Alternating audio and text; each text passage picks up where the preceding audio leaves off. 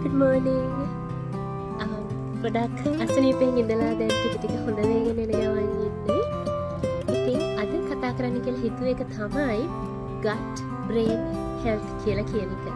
ඒ කියන්නේ අපේ ඇත්තටම කියනනම් අපේ ආමාශය හොඳට තියෙනවා නම් අපේ මොලේ වැඩ කරන විදිත් හුඟක් හොඳයි clarity of thinking ඒ වගේ ගොඩක් දේවල් අපිට හම්බෙනවා.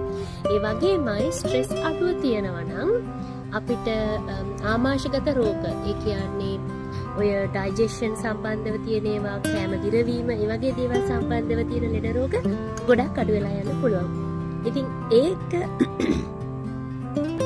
ඉතින් ගට් බ්‍රේන් හෙල්ත එක ගොඩක් හොඳට තියාගන්න මම උදේම කරන එක ටිප් එකක් තමයි මේ පෙන්වන්නේ චියා සීඩ් දාලා තියලා කීපවලට පැයක් දෙකක් විතර වගේ තියලා බ්‍රෙක්ෆාස්ට් එකට කලින් ගන්න එක.